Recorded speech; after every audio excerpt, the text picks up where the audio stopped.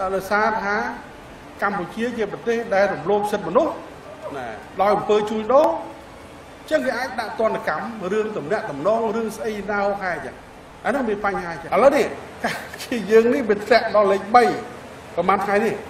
ដែលប្រកាសមកនេះគឺថាគេថាលេខ3អញ្ចឹងមានន័យថាម៉េចមានន័យថាកម្ពុជាអត់មានឆន្ទៈក្នុងការប្រយុទ្ធប្រឆាំងការជួញដូរនោះទេ ហើយចំណុចនេះខ្ញុំមិនខ្ញុំដូចថាមានការបារម្ភឬក៏ថាមានការភ្ញាក់ផ្អើលដែរពីព្រោះថាក្នុងឋានៈជាប្រធានខ្ញុំប្រធានគណៈកម្មការប្រយុទ្ធប្រឆាំងការជួញដូរនោះហើយតែងតែសហប្រតិបត្តិការជាមួយដៃគូអន្តរជាតិជាពិសេសអង្គការសហជាតិនិងសហរដ្ឋអាមេរិកតែម្ដងអហើយនេះក្រសួងការបរទេសសហរដ្ឋអាមេរិកគាត់តែចេញខ្ញុំជឿថាកម្ពុជាវាមិនដល់ថ្នាក់ថាធ្វើបានល្អអត់ចោះទេបាទយើងទូស្គាល់ ក៏ប៉ុន្តែវាក៏មិនអាក្រក់ហើយក៏វាមិនមែនថាវាអត់ឆន្ទៈអញ្ចឹងខ្ញុំមានការបារម្ភអំពីលក្ខខណ្ឌនៃការវាតម្លៃឬមនោសញ្ចេតនានៃការវាតម្លៃនេះខ្ញុំនិយាយប៉ុណ្ណឹងបារម្ភអំពីលក្ខខណ្ឌឬក៏ថាស្តង់ដារនៃការវាតម្លៃនិងបារម្ភអំពីមនោចេតនានៃការវាតម្លៃប៉ុន្តែទោះបីយ៉ាងណាក៏ដោយកម្ពុជានៅតែមានចន្ទៈ ហើយនៅតែបន្តធ្វើការងារនេះហើយនៅតែបន្តជំរុញកិច្ចសហប្រតិបត្តិការជាមួយដៃគូទាំងអស់ដោយស្មោះជាមួយគ្នាពួកយើងនិយាយតាមរបៀបសាមញ្ញថាអ្នកមកជួយខ្ញុំអត់ទេជួយឲ្យខ្ញុំឈ្នះតែខ្ញុំចាញ់អ្នកឯងចាញ់ដែរមិនចាញ់តែខ្ញុំដែរមិនចឹងមកជួយថាជួយឲ្យល្អ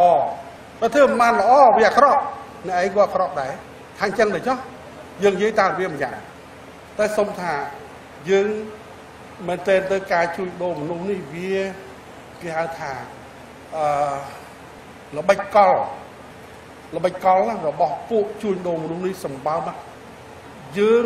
សមត្ថភាពល្មមល្មមតាមមិនទាន់ពួកហ្នឹងទេ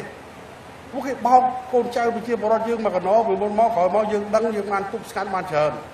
បានច្រើនតែប្រទេសខ្លះខ្ញុំឆ្ងល់ដែរប្រទេសខ្លះយើងដឹងថាដូចជាមិនល្អទេ សាប់ទៅល្អវិញនេះបើខ្ញុំឆ្ងល់ថាយ៉ាងម៉េចបានជាចឹងយើងធ្វើស្អីធ្វើមជ្ឈមណ្ឌលសំចរនៅប៉ោយប៉ែតមួយនៅកំរៀងមួយប៉ោយប៉ែតខេត្តបន្ទាយមានជ័យជាប់ព្រំកណ្ដុលថៃនៅកំរៀងខេត្តបាត់ដំបងជាប់នៅថៃដែរជាច្រកអន្តរជាតិដូចគ្នាសម្រាប់ត្រងយកមកអ្នកដែលចេញពីថៃមក ដោយអំពើជួញដូរដោយអីហោហាយអញ្ចឹងទៅរងគ្រោះអីមកទៅយើងយកមកសម្ចតហើយដើម្បីអឺបែងចែករៀបចំឲ្យគាត់ទៅស្រុកកំណើតពួកជួនអីទៅទៅគឺថាគេថាទៅដល់មួយខែគេបានចំណេញប៉ុណ្ណេះប៉ុណ្ណោះអីចឹងហោហាយដល់ទីផុតអត់ទេមកវិញយើងគឺថាដៃទៅទេអានោះខ្ញុំជួយដូរទៅវាឆ្ងល់អាហ្នឹងបញ្ជាក់ឲ្យឃើញថាតើរដ្ឋាភិបាលកម្ពុជាមានឆន្ទៈអត់មានឆន្ទៈអត់ នេះខ្ញុំសូមបញ្ជាក់ថាយើងនៅតែមានឆន្ទៈហើយនឹងរឹតបន្តឹងពីការនេះខ្ញុំនឹងរួមជាមួយសហការីដើម្បីត្រួតពិនិត្យឲ្យបានមកចត់ថាតើនៅសល់បញ្ហាអីហើយមូលហេតុអីបានជាវាទៅអញ្ចឹងរឿងចេះសូមជម្រាបថាវាមានពាក់ព័ន្ធចេះបើកាលណាលេខ1លេខ2ហ្នឹងវាអត់អីទេលេខ2កន្លះក៏មិនអីទេលេខ2ក្រោមការក្រុមមើលលេខ2កន្លះប៉ុន្តែលេខ3អាហ្នឹង គឺចូលដល់កលៈមួយគេអាចដាក់ទណ្ឌកម្មឃើញទេគេអាចដាក់ទណ្ឌកម្មដោយសារថាកម្ពុជាជាប្រទេសដែលរំលោភសិទ្ធិមនុស្សណាដោយអំពើជួញដូរចឹងគេអាចដាក់ទណ្ឌកម្មរឿងតំណាក់តំណងរឿងស្អីណាហែចឹង អានោះមានបញ្ហាចឹងជ្រាបសួរនាងកញ្ញាជាទីស្រឡាញ់នាងខ្ញុំអែនណាមកពីសហគ្រាសវត្តមរុំខ្មែរធម្មជាតិបច្ចុប្បន្នណាយើងសង្កេតឃើញថាបញ្ហាស្លាកមិនត្រឹមតែកើតឡើងចំពោះមនុស្សវ័យចាស់ជ្រាបប៉ុណ្ណោះទេមនុស្សដែលមានវ័យចាប់ពី25ឆ្នាំឡើងទៅក៏ប្រឈមនឹងបញ្ហាស្លាកនេះដែរហើយមូលហេតុដែលបណ្ដាលឲ្យមានជំងឺស្លាកដោយសារការធ្វើការធ្ងន់ការប៉ះទង្គិចជំងឺធាត់ស្លាកដោយសារអស់កាល់ស្យូមនិងវ័យចាស់ជ្រាប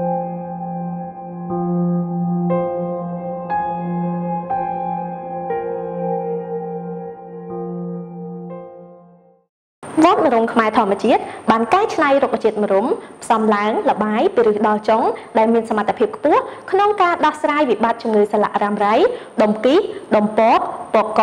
ឬដងបាត ម្រេញរបេងកូនកដុលសាច់ដុះក្នុងដៃស្បូនបានយ៉ាងឆាប់រហ័សហើយថ្ងៃនេះនាងខ្ញុំសូមលើកយកផលិតផលឈុតសរីរាង្គក្រៅយកមកជម្រាបជូនលោកអ្នកវត្តឈុតសរីរាង្គក្រៅមាន4មុខហើយមាន2ប្រភេទប្រភេទទី1គឺសូនទឹកឃ្មុំប្រភេទទី2គឺក្របសំប៉ែតវត្តឯកទេសស្លាកក្របសំប៉ែតផ្សំឡើងលបាយពីរឹសដល់ចុងនៃរុក្ខជាតិម្រុំល្អបំផុតសម្រាប់អ្នកមិនចង់ឡើងគីឡូហើយប្រភេទសូនទឹកឃ្មុំស័ក្តិសមបំផុតសម្រាប់អ្នកស្គមរីងរៃវត្តតាមរុំអាចជួយលាងសម្អាតស្ករខ្លាញ់អាស៊ីតជាតិពុលនៅក្នុងរាងកាយលោកអ្នកវត្តត្រេងអូលខ្មៅមានសារធាតុប្រឆាំងអុកស៊ីតកម្មគឺជាសារធាតុដែលអាចកាត់បន្ថយការខូចខាតនៃកោសិកាដែលបណ្ដាលមកពីរ៉ាឌីកាសេរី